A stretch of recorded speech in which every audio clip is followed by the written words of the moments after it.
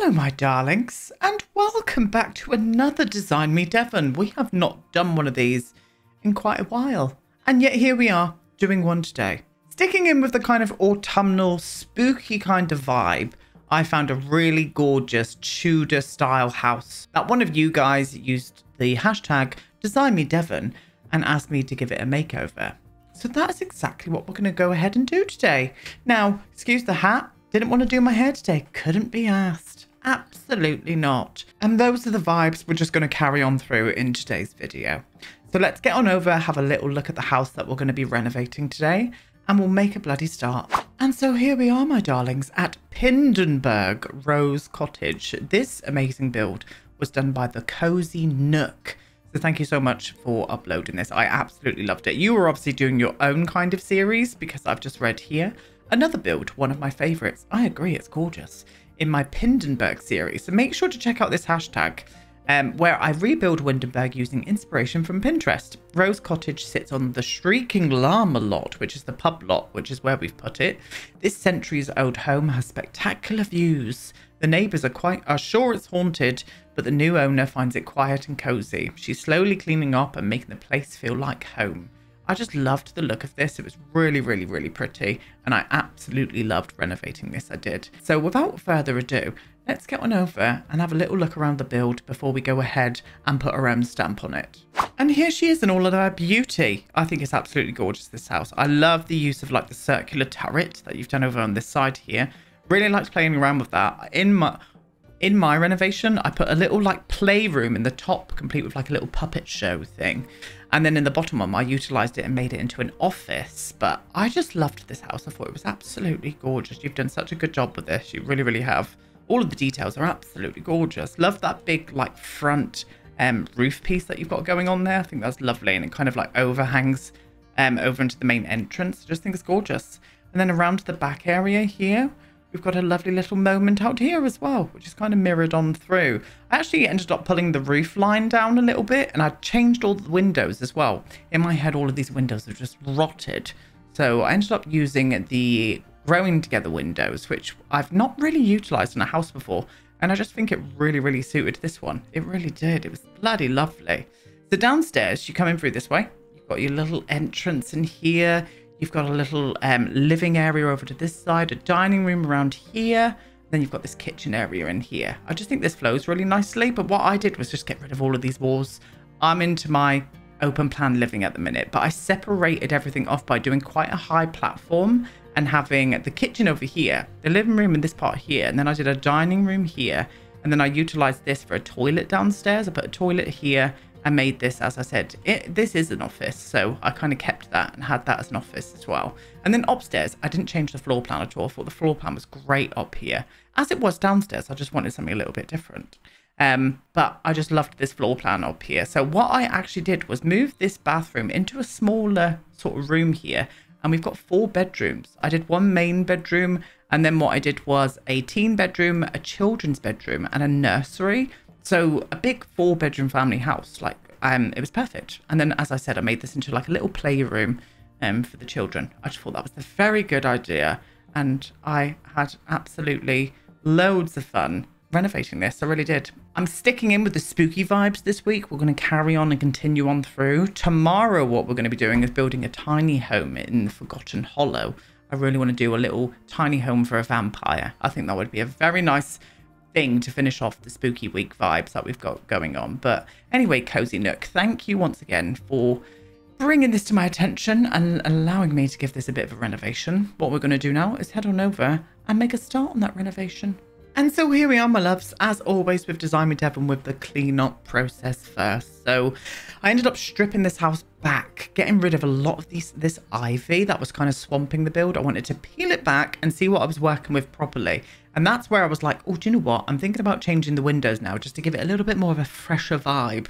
And I'm glad that I did. It really came out quite nicely. Back here, we put like a veranda. I've raised the foundation up and put a little like um, veranda area where they can look over their land and it just it really really worked didn't end up keeping any of the furniture really we ended up getting rid of it stripping it back we do go for a very darker vibe on the interior i wanted that to kind of come through but still feel like a nice family home as well so um with the bedrooms, we play around with a tiny little bit of colour, but not too much. I just wanted everything to be these dark, woody sort of like tones and sort of fit in with the uh, kind of Tudor-esque style that this house is.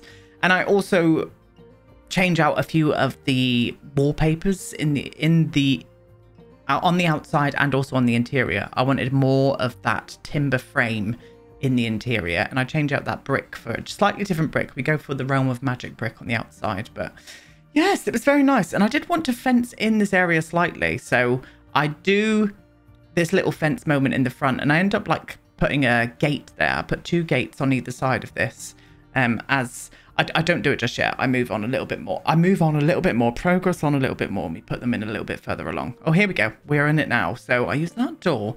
We up these marvelous little hedges around here. I bring out some more trees and stuff just to bring a bit of greenery. Because as soon as I took all the ivy off, I was like, oh, it needs some greenery now because I've got, I've just got rid of it.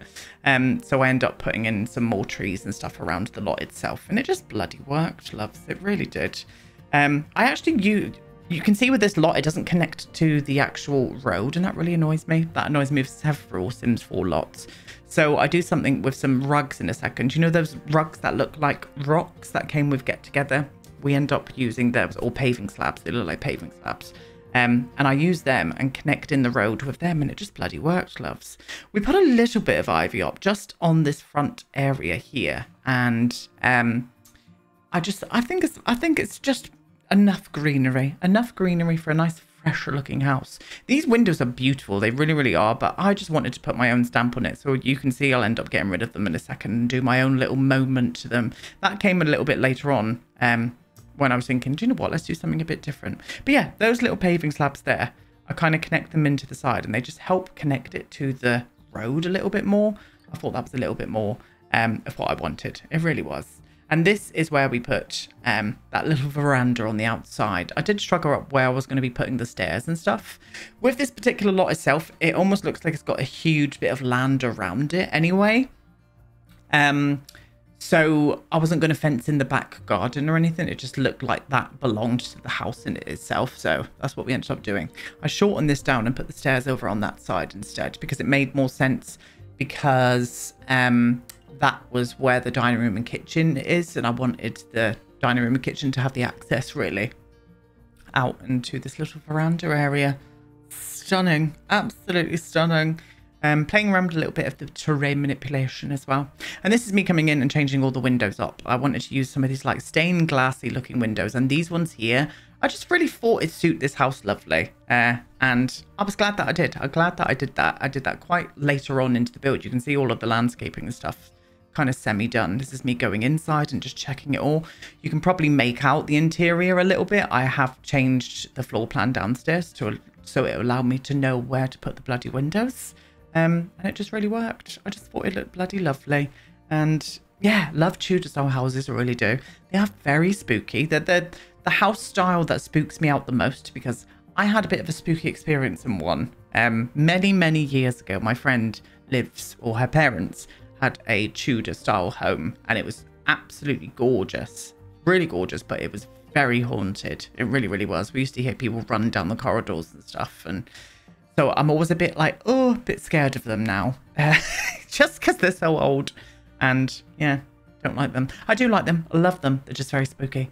But yeah, little veranda area. Wanted to do a little bit of a dining space out here. Didn't want to put a barbecue out here. It just didn't really fit the aesthetics of the build itself. I know that sounds weird, but it just didn't look right. So we didn't. And we're done with the exterior. Really simple, just change the windows, really. I just thought everything else was perfect as it was. So you can see what I mean by this. This is like a small little living room nook that we've got going on. I've obviously already pre-chosen everything that I'm using. And then we've got this kind of higher raised up platform where I'm going to be putting the kitchen and the dining room. It just flows really nicely, even though it still feels like it's separated off. You can probably see I've used some, um, what they called again? The spandrels. There we go.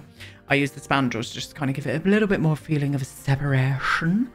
And I really like it. Mixing up lots of brown, browns and blacks in here as well. Um, end up going for the base game kitchen. I just thought it suited this build the most. I did try the vampires one, but it just, no, not the vampires one, the Realm of Magic one, but it just looked a little bit too detailed for this build, so didn't want to do that. Didn't want to do that, but I just thought this kitchen was in a lovely area raised up with that amazing new fence. You can see over to the left. Oh no, it's under me. The one from uh, the ranch pack, the horses ranch pack. I just love that fence. I'm I'm using it quite a lot in all builds, even modern builds. I just think it looks lovely. And obviously went for a nice island here as well. There was enough space for it. This is a big family home. I just wanted this area to just kind of like have that family dynamic around it. So you can imagine everybody's down here doing their own thing, but being together. And I like that. I do like that a lot. I really do. Um, but yeah, gorgeous. Wanted some extra lighting underneath of the kitchen cupboards. So I use those art lights just to bring a little bit more of a brightness over to this area. Um, you can obviously see I've used wooden, uh, the same texture on the floor as the ceiling. Again, I just wanted to feel swamped and a little bit spooky, but I still wanted this house to look really nice. And I think it does. I think it absolutely does. It really does. So two bedrooms, four bathrooms. You could even have this as a five bedroom house if you wanted to use the little turret room for a bedroom. You could do that. You might be able to squeeze a bed in there, but trying to furnish a circular room is not fun in The Sims 4. I don't I can imagine it's fun in real life either because I would imagine everything would have to be custom made. And we can't do that in The Sims 4. No, we cannot. Um, I would love to see some maybe CC. No, actually, I wouldn't because the circular rooms and the curved walls don't work properly as far as I'm concerned. So once they get fixed, if they ever get fixed, let's be real, um, I would love to see some like furniture that fits into circular rooms, like a circular kitchen or something. See how that could work. I don't know how feasible that would be, but I would like to see it. Thank you. This is me trying to struggle to get a rug in because nothing likes to sit inside a circular room properly. Love that for us. Um, and I just put in a desk. I put in a desk, a little plant over in here, and I think I put a bookshelf in here. Again, very hard to furnish a circular room, but I just thought that was just enough in this room. Was there something else I put in here? Oh, I've got some pictures up on the wall. I used the ones from Get Together, um, just the old style looking ones, because there's loads of like Tudor houses in these pictures. I just thought it maybe could have been people who lived in this house years ago before it was occupied by someone else, you know? Kind of vibing with that. Love those pictures. I really do. I would like to see more like that in The Sims. So, as I said, two bathrooms. They're both full bathrooms as well. So they've both got the exact same stuff that I'm putting in them now. The toilet, the bath and shower, and also the sink. And that's it. That's it. And yeah, very much works. I play tested everything, so your Sims should be able to get everywhere. But yeah, don't show you how I furnished the other one because you've already seen that one. It would be boring, wouldn't it? Yes, it would. So this is the main bedroom. They're all exactly the same size apart from the nursery. They're all five by six, I think they were. Um, so it's a nice size for a small bedroom. You can still fit everything in it and put enough detail in there to make it look lived in, which is what I did. Double bed, um, chair, wardrobe, mirror, plants, all of that kind of good stuff, rug. And I just think it really looked very, rather nice. What am I going to be putting here? I can't remember what. Oh yeah, that little sage stick moment. I just thought that would be perfect. Now, in my head, this was a teen's bedroom, so I put I do put in a double bed. I push it up to, up against the wall, but we put a desk and stuff in here. And off camera, I put in like a, a stereo and stuff in here as well. I did forget to do that, but I put the little kind of like what looks like a Bluetooth speaker on a little wooden stand. I forgot where that came from. Was it with the high school years? I can't remember, but I put that up on top of the desk as well. Um, and it just it just worked. It just worked. And a bookshelf because they might be studying at school and stuff. You know, I wanted everything to fit in here kind of nicely. And it really did. It really did indeed. Very nice. Simple to the point. That's what we want, isn't it, to be honest? And then this is the children's bedroom. So the children, the child in my head was love to play a bit of make believe and stuff. That's why I gave them their own kind of like dress up room in the turret. I do. Maybe they put on shows and stuff in there. A bit like Little Women, you know. I love that film so much.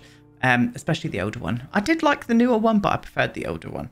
Um, but yeah, I just thought that was in my head. They were kind of like a make believe. So I made sure to kind of make that apparent with a lot of their stuff. They're kind of a creative kid, hence the creative table that I'm putting in and stuff.